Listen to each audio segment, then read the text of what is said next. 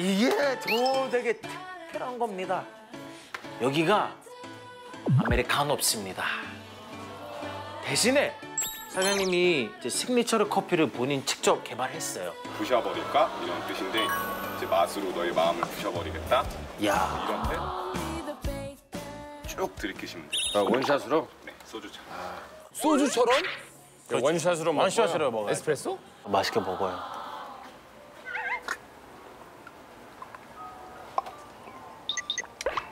맛이 어때요? 맛있다.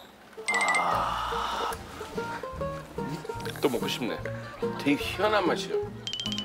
어떤 처음? 먹을 때 좀 쓴데 갑자기 우유 들어오니까 조금 이 고소한 맛에다가 맨 끝에 무슨 마시멜로 맛 나는 거야. 아 진짜? 되게 달콤한 맛 맨 끝에. 그거 한국말로 이제 고지 감내? 고지 감네. 그렇죠 고지 감내죠. 이게 바로 고지 감내예요. 자, 또 아까 형이 여기 약간 그 꽃집 같다고 얘기했잖아요. 원래 여기 특징이 뭐냐면 바로 이유가 있어요. 어, 뭐야?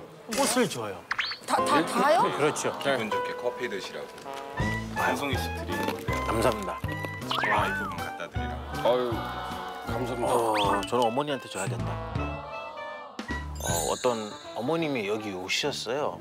꽃을 하나 줬는데 그 어머님이 우시더라고요. 물어보니까 결혼하고 나서 처음으로 그, 그 꽃을 받았대요.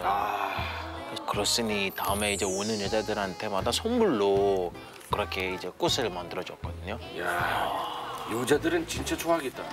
여자들의 마음 그냥 부셔버리는 거지.